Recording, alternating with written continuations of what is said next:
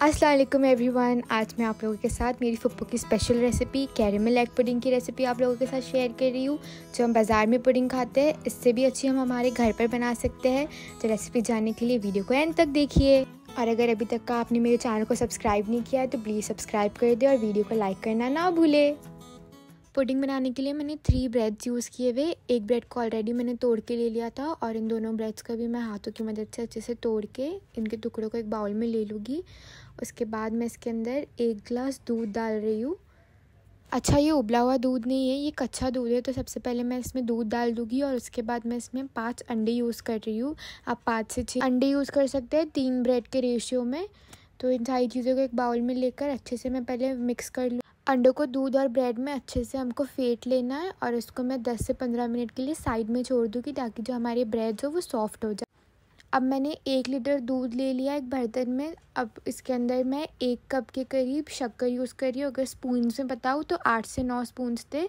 अब शक्कर आपका मीठा जितना आप खाते हो उस हिसाब से यूज़ करिएगा। और फिर इसके अंदर मैं ये कैरमल पुडिंग मिक्सचर है वो यूज़ कर रही हूँ। इसे थोड़ा थोड़ा डालकर मैं इसको पहले मिक्स कर लूँगी। एकदम से सारा नहीं डालना है हमें बैचेस में डालना है ताकि इसमें लम्स ना बने। ये यूज़ करने से इसका टेस्ट और कलर बहुत अच्छा आ जाता है तो आप ये डालिएगा इसमें। अच्छा मैं आपको अभी दूध की क्वांटिटी बता रही हूँ। मैंने ये पुडिंग बनाने के लिए टोटल एक लीटर दूध यूज़ किया है, कच्चा दूध था, जिसको मैं अभी बॉयल कर रही हूँ। जो मैंने ग्लास में भी दूध यूज़ किया था ब्रेड को सोक करने के लिए, वो सब मिलाकर टोटल एक लीटर मैंने दूध यूज़ किया है। तो इसमें एक लीटर दूध यूज़ होता है। तो अब मैं इसको लो फ्लेम पे अच्छे से बॉयल होने दे रही हूँ और कंटिन्यूसली इसको स्टीर कर रही हूँ। अच्छा उस बर्तन में मुझे ऐसा लग रहा था कि दूध मेरा गिर जाएगा तो मैंने इसको शिफ्ट कर लिया है बड़े बड़े बर्तन में। तो अब मैं इसको लो फ्लेम पर ऐसे ही बॉयल आने तक का इसको मैं उबाल रही हूँ।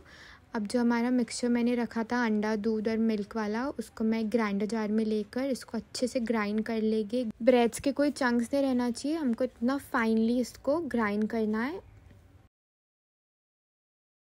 देखिए ग्राइंड हो गया है। अब मैं इसको जो हमारा दूध हमने बॉईल किया था, वो वाले मिक्सचर में इसको मिक्स कर दूँगी। दूध को ना हमको रूम टेम्परेचर पे आने तक का वेट करना है। इसको गरम गरम मिक्स नहीं करना है। और फिर दोनों चीज़ों को अच्छे से मिक्स कर लूँगी और साइड में रख दूँगी। अब मैंने एक बर्तन लिया है जिसमें हम पुडिंग बनाए के उसमें मैं थोड़ी सी शक्कर डालकर उसको थोड़ा सा गर्म कर रही हूँ ताकि शक्कर उस पर चिपक जाए। अच्छा पुडिंग को स्टीम करने के लिए आपने देखा है, मैंने एक रिंग रखा है, उसके अंदर थोड़ी सी पानी रख कर उसके ऊपर ये बर्तन रखा है तो आपको इसी तरीके से एक स्टीमर प्रिपेयर करना है।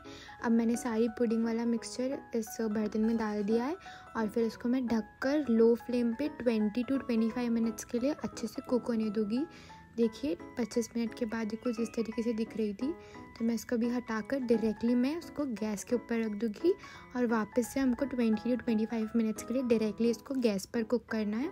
हमारी पुडिंग में जब इस तरीके से बॉयल आने लगे तो ये ऑलमोस्ट कुक हो गई है। तो मैं उसको पाँच मिनट के लिए और पकाऊँगी और उसके बाद फिर फ्लेम को ऑफ़ कर दूँगी। ये देखिए, एकदम सेटल हो गई थी। मैं आपको हाथ लगा कर दिखा रही हूँ।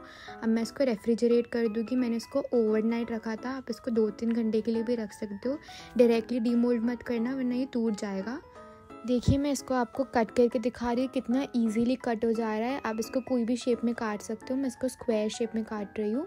एक नाइफ़ की हेल्प से बस आपको इसके ऊपर कट्स लगाना है और ये बहुत आसानी से बाहर निकल जाएगा। एक फ्लैट स्पून या स्पेचुला की हेल्प से मैं पुडिंग को इस तरीके से बाहर निकालूँगी और एक प्लेट पे हमको इसको फ्लिप कर देना है।